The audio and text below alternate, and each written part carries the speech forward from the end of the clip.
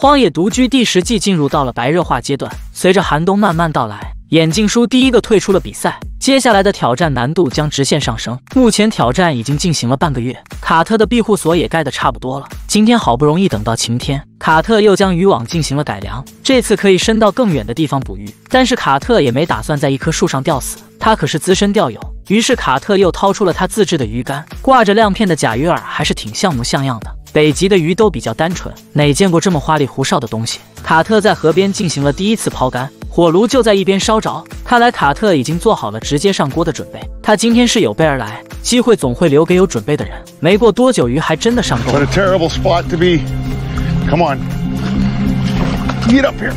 虽然这条鱼不大，节省一点吃两天应该没问题。卡特把鱼扔在了岸边的水坑中。既然今天运气不错，那就再试试。一直到快要天黑的时候，第二条鱼总算是上钩了。这不得开瓶啤酒庆祝一下？这个星期都不用再饿肚子了。眼瞅着天慢慢黑了下来，卡特把鱼留在了岸边的水坑中，打算等天亮再制作鱼竿。关键时刻，卡特还是浪了一手。怎么感觉要翻车了呢？等到天亮以后，卡特迫不及待来到河边。我的妈呀！水坑里面果然啥都没有了。卡特整个人都在风中凌乱，咋回事呢？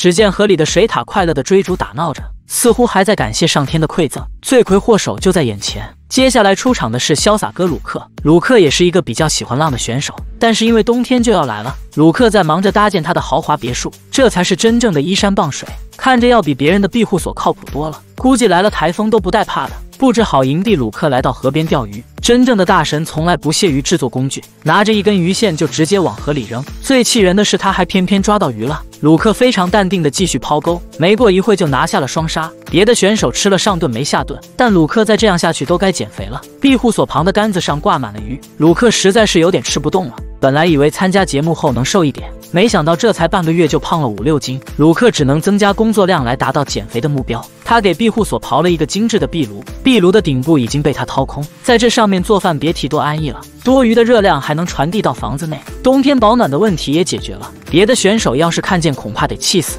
鲁克躺在自己的豪华别墅里仰望星空，本以为这是一场艰难的挑战，没想到竟然是无敌的寂寞。别的选手对他而言毫无压力，也许是老天听到了鲁克的抱怨，是时候给他上一点强度了。闲着无聊的鲁克突然开始胃疼，他感觉到自己有点胀气。但是，一直打不出嗝，非常难受。要么说做人不要太嚣张，真是世事无常啊！又是五天过去了，鲁克的腹泻症状没有任何好转，他感觉整个人都要被掏空了。鲁克的烤鱼应该没有问题，毕竟那都是经过高温消毒的。但他最近一直在喝生水，八成是水不干净感染了细菌。只剩半条命的鲁克躺在河边晒太阳，鲁克整个人都萎靡了下来。这次他是真的浪不动了，躺在地上不停的胡思乱想着。就在这时，鲁克无意间听到远处有黑熊的吼叫声。鲁克也顾不上身体有多难受，一个箭步直接就冲了上去。他想要振作起来，就算死也要死得轰轰烈烈。如果可以抓到黑熊，鲁克就能说服自己再一下。他搭弓对准黑熊就是一个，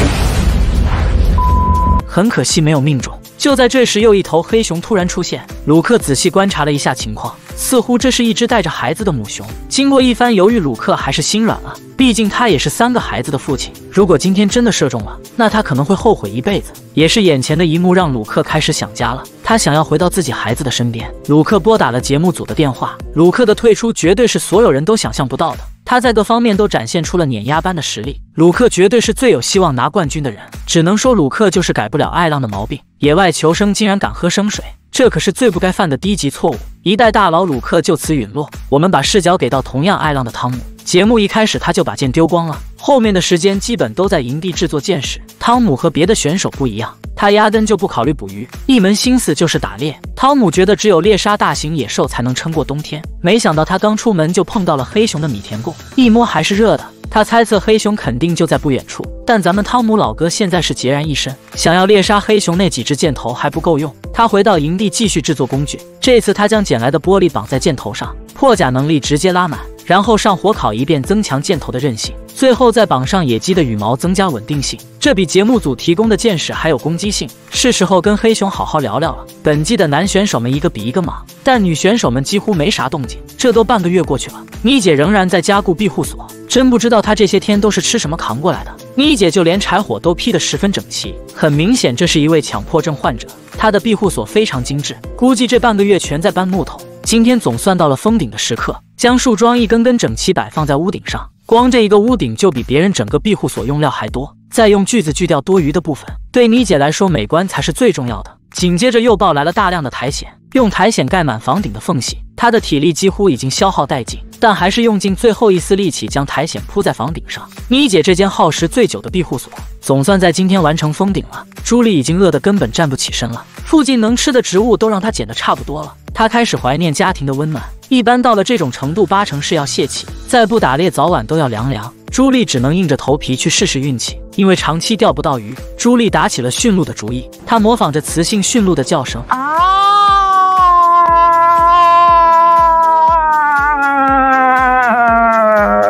试图通过这种方式吸引雄性驯鹿。不得不说，她的想象力还是十分丰富的。整个山谷寂静无声，没有一丝回应。朱莉换了一个角度，继续尝试。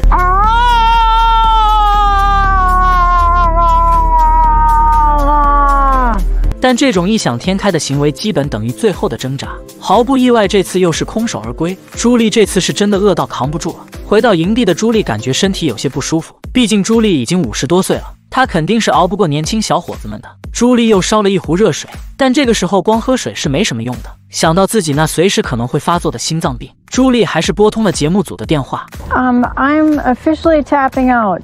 其实朱莉的退赛并不意外。她把太多精力都用来建造房子了，以至于到了后期连打猎的力气都没有。更何况打猎本来就是女同志的弱项，这个年纪能撑到现在已经很不容易了。让我们祝他身体健康吧。送走了朱莉，镜头来到潘子这边。潘子的实力和鲁克旗鼓相当，从来了到现在鱼肉根本就没断过。最重要的是他一点也不浪。潘子一如既往来到湖边检查渔网，今天又收获一条十几斤的大鱼。经过上次的教训之后，潘子这次盖了一个更豪华的熏鱼架。这次不会轻易发生起火事故了。保险起见，潘子就一动不动地守在旁边，谁也别想让他的鱼出一点意外。上次两条鱼让水獭偷走了，卡特为这事郁闷了好久。一只小雕突然出现在他的身后，这只松雕仗着自己是保护动物，不停在卡特身边来回晃悠。猎杀松雕是要踩缝纫机的，不过松雕的出现意味着这里肯定有不少鱼。他是来河边捕食的。卡特决定甩一杆试试运气，没想到还真的钓上来一条三斤重的鱼。卡特把之前的不愉快忘得一干二净，二话不说就在河边开始处理起锅烧油，动作十分娴熟。再次吃上烤鱼的卡特别提多高兴了，看来天无绝人之路，这无比熟悉的味道，这香嫩酥脆的口感，卡特再次对挑战充满了信心。本集有两名选手退出了挑战，分别是实力最强但是最浪的鲁克，还有擅长盖房挖野菜的朱莉。接下来的比赛只会更加残酷，毕竟北极的冬天可不是闹着玩的。但选手们的食物储备严重不足，很多选手仍然处于饿肚子的阶段。到底会不会有奇迹发生呢？接下来淘汰的又会是谁呢？让我们拭目以待吧。